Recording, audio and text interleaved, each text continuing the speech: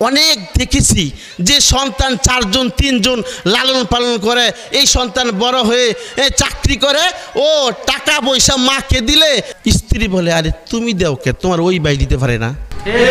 আরে ভাই, তুমি রুজি রোজগার করবা, তোমার মা খাবে, তোমার বাবা খাবে, এই জায়গার মধ্যে তোমার স্ত্রী বলার কোনো অধিকারই নাই। আমি কিছুদিন পূর্বে পত্রিকায় পড়েছিলাম যে এক স্ত্রী তার স্বামী মারা গেছে, গর্ভবতী স্ত্রী। দেখতে চেহারাটা খুব ফাটাফাটি ছিল।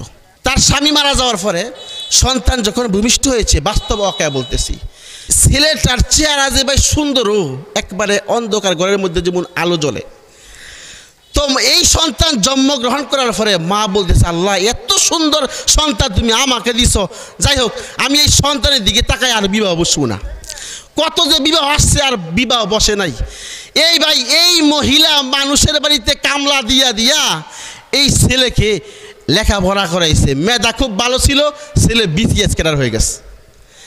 চাকরি করে, লক্ষ লক্ষ টাকা মাসে কামায়। বিবাহ করেছে ধনির বাড়িতে। একদিন, দুই দিন, তিন দিন যায়। ধনির মেয়েটা বলে একদিন হঠাৎ যে তোমার মা খালি রাত্রে কাশে, আমার ঘুমে ডিস্টার্ব হয়।